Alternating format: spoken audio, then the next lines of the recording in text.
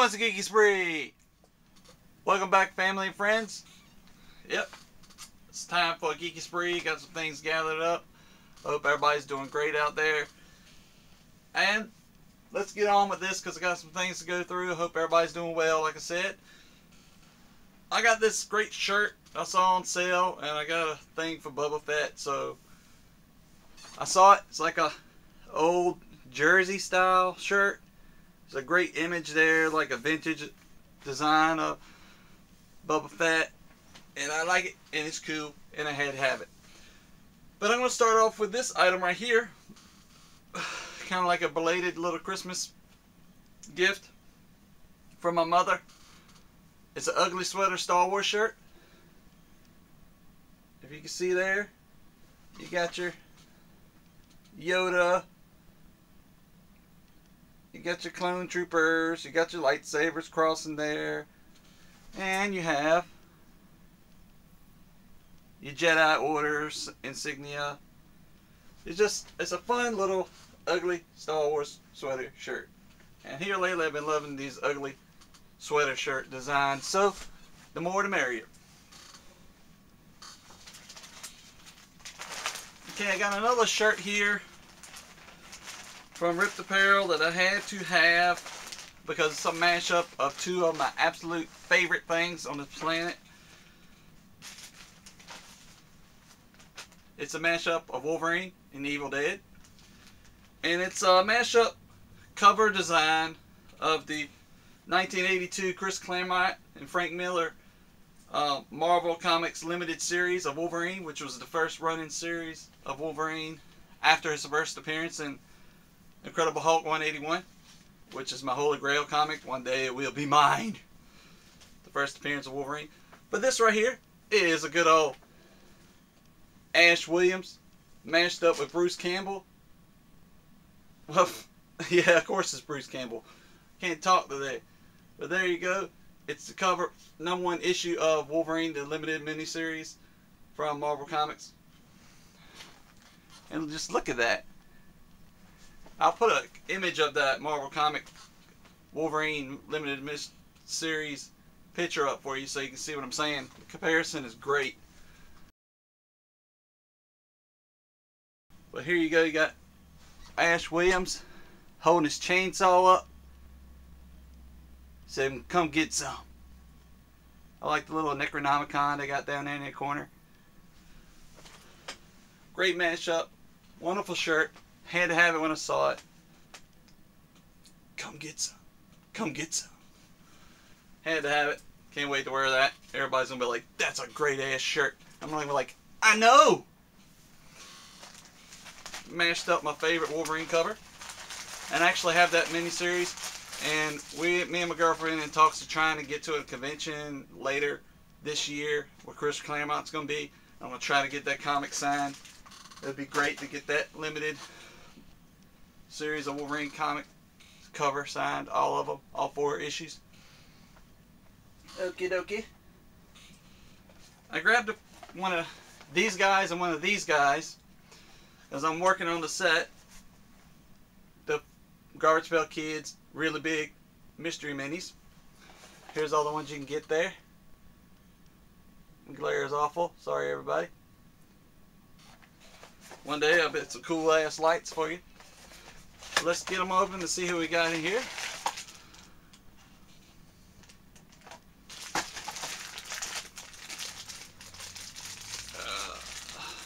Uh, the little barbarian guy. And he's got two little accessories. Let me get his accessories in his hand. I'll show you what it looks like. He's got a little battle axe.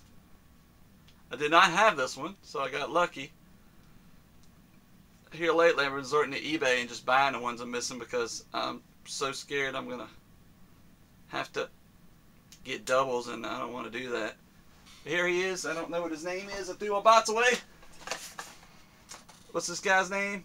Mad Mike. Mad Mike.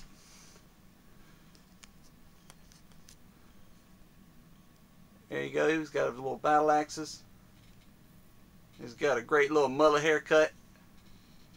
I did not have him, so he'll look great with the rest of my Garbage Pail Kids Mystery Minis.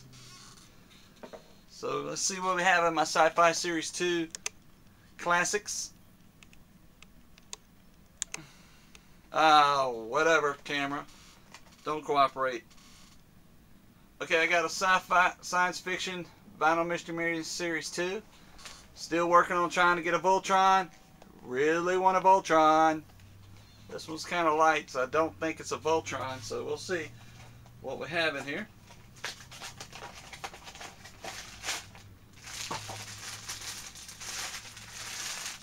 I really have no idea. I know it's not Voltron.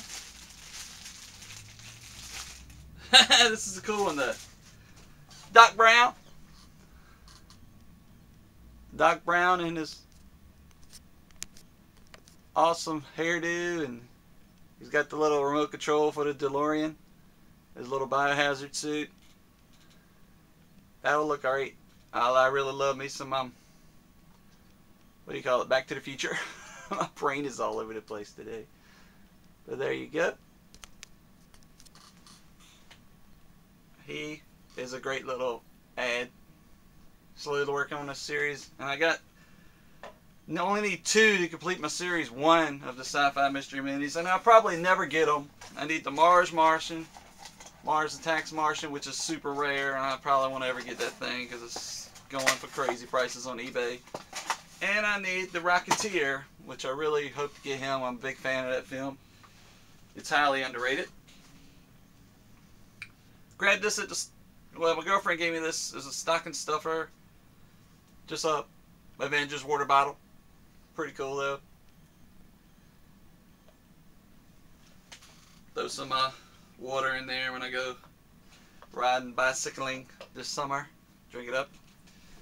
Alright, uh Alright, I have a number of Star Wars Mr. Potato Head designs. I have Darth Tater, I have a Spud Trooper, and I have a R2 Potato. And all Star Wars themed Mr. Potato Heads. So I saw this one the other day on a, on a Christmas clearance rack. And I was like, I gotta put that with the rest of them. It's a Return of the Jedi style Luke Frywalker. Luke Frywalker, Mr. Potato Head. And he's got his lightsaber. And his accessories there. And he just, he's going to be cool sitting over there with the rest of my Mr. Potato Head Star Wars designed. I like how you can't see it. One hand is just white and his other hand is black, just like in Return of the Jedi when he's wearing a glove. And he's got his iconic Return of the Jedi Luke Skywalker lightsaber that he constructed for that film. So that's just a fun add to the collection. This is the Spud Trooper. I actually have him. They don't have any of the other ones I have. Like I said, I have R2 Potato and Darth Tater. So that's a cool little add to my Star Wars collection. Alright, I found out a series of books that I'm interested in reading. This is not the first one in the series, but it's the Alien, you, you know, movie Aliens. But they, they have a series of original novels out now, written by Christopher Golden, right here. This is the third one, which I managed to grab at the um, the place where you check out the books, kids. Do you know where that is? It's called a library. You go in there, you check a book out, and you read it. Anybody know that place? But I got a I got this one at the library. It's called Alien River of Pain. And I'm interested in read this because it takes place right before the events in Aliens. You know, the second movie in the Alien franchise. So this tells the story of the colony that was on LV 426 right before the Marines and Ripley go there to see what happened to them. But I'll read you a quick synopsis on the back. When Evelyn, Ellen Ripley finally returns to Earth, she learns that a planet LV 426, now called Acheron, has been colonized. But LV 426 is where Ripley and the crew of Nostromo found the original xenomorph, the killing machine known as the alien. Protected by the colony marines, the colonists seek to terraform the, the storm-swept planet. Two such residents, Anna and Russell Jordan, seeking a fortune to indulge them on Earth, on Acheron, Anne gives birth to the colony's firstborn, Rebecca Jordan, also known as Newt. You know, the little girl they find in Aliens 2. Which I'm interested in reading this. This, like I said, this is the third one in the series of books written by him, by Christopher Golden. And let me tell you what the other two are. See if I can find it. Bear with me. Actually, Christopher Golden, I'm sorry, does not does not write all of them. This is from Titan Books. Alien Out of Shadows and Alien Sea of Sorrow, Seas of Sorrows are two books before this one right here, Alien River of Pain. So I'm going to read this. I'm, I did not even know they had alien novelizations out now. So, a series of books I'm going to get into reading again. So thank you very much. Look forward to reading this bad boy. It should be fun to hear the story right before Aliens. That should be pretty interesting. Moving along here to the DVD and Blu-ray Geeky Spree portion of the show. I picked up this one on eBay, very cheap. It's the Full Moon Subspecies Collection. It's Subspecies triple feature from Full Moon Studios. You got Subspecies, you've got Blood Moon, Subspecies 2, you got Blood Lust, Subspecies 3, and I actually think there's a Subspecies 4, which I got to get my hands on. But I, I like these films. I think they're really great vampire style films. And Full Moon does some fun stuff. Okay, grab this guy here for real cheap. You know, the Transformers movie that came out a while back. This is the first one in the film series by Michael Bay, which is the only good one in my opinion. Because the other ones after that just they just went too crazy and changed too many different things, and I'm a fanboy for Transformers. But the first one I did enjoy with old Shia LaBeouf. I got this one super cheap. A couple bucks, I think. I grabbed Interstellar. Six bucks. Had to have it. Great space, space odyssey film. It's just really got a 2001 type vibe. Is it 2001 Space Odyssey? A Stanley Kubrick? Somebody help me out. I think it is. But it really reminds me of that film. And it's just beautiful. Christopher Nolan, he did a great job with it. And Matthew McConaughey, he just his acting is superb in it.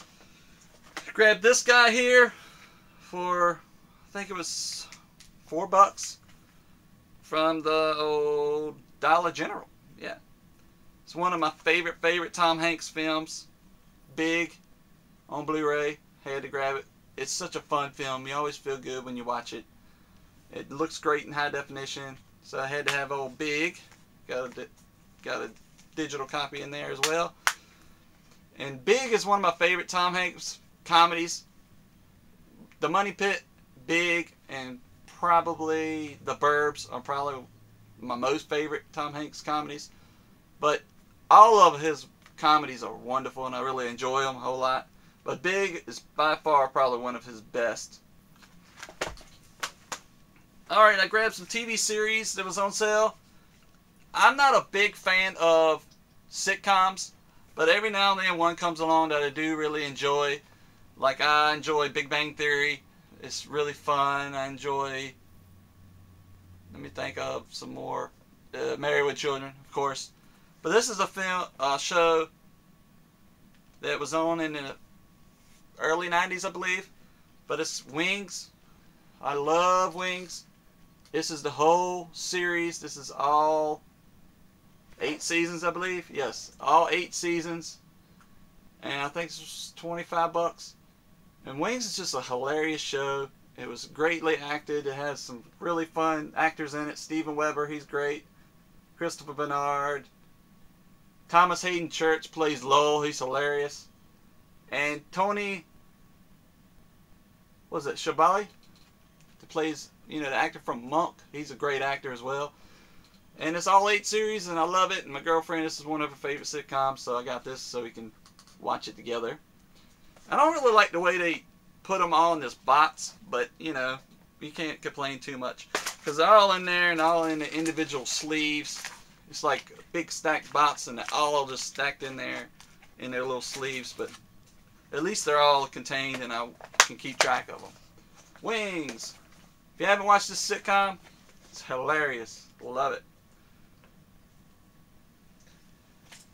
Alright, I went to oh, Dollar General the other day hunting for something special. I got that uh, Electro Amazing Spider-Man 2 bust Blu-ray collection. But now I found the Amazing Spider-Man um, gift set with the mask. And I'm going to open this up and show you what it looks like real quick. Which I only bought this because it's got the little mask in it. I already have the movie on Blu-ray and 3D. So I may not be keeping this copy of the film. It's got all embossed cover on it. Like I said, I'm probably not keeping this copy. I'll probably give it away in the future giveaway. Everybody, giveaway coming soon. Stay tuned on my channel. But I mainly bought it for this little item that's in it. So you can display it if you're a big Spider-Man fan. That's the back of the box. Who wants to see that? You want to see this, right? It's the Spider-Man mask. With great power comes great responsibility. Drink your milk, kids. Don't tell me what I was doing there. I have no idea. But this is a cool little little set here. Pop the back open. It's got a Spidey logo on it. Pop the back open. It's got your uh, bonus disc in there. And what I'm going to do is I'll probably take out my 3D version of the film and I'll put that in here with it. And you put this in here, just pop it up on your shelf and there you go. You got a cool little display item. Alright, I got one more DVD purchased that I came across. A series I loved when I was a kid back in the day. It's Wonder Woman! Wonder Woman! Starring Lynda Carter. This is all three seasons. And I just love this show as a kid. This is all the box art for you. On the back there. And look at look at Lynda Carter.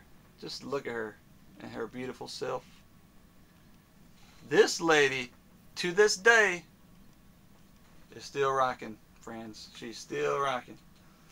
Alright, let's open these up. See, we got all three seasons in here. Here's the first season. Oh, that's in the slipcover too. My glare is god awful, everybody. There she is in her disguise.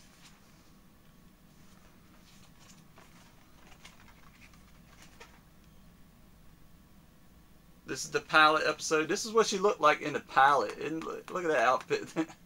I'm glad they changed that. This looks great. So it looks like a great collection. I'm gonna sit down one day and watch some of these episodes and just feel like I'm a kid again. Oogling. Lynda Carter. Season 2. Lasso of Truth. Check her out hanging from the helicopter.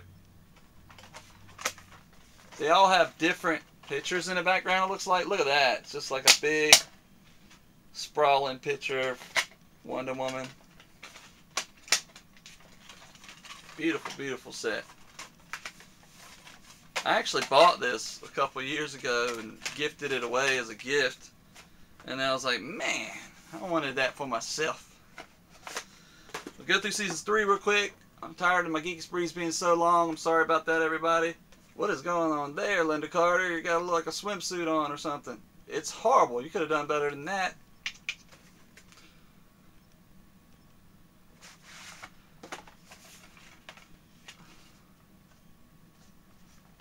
see what picture they got in the background here. You got Wonder Woman with her lasso of truth there.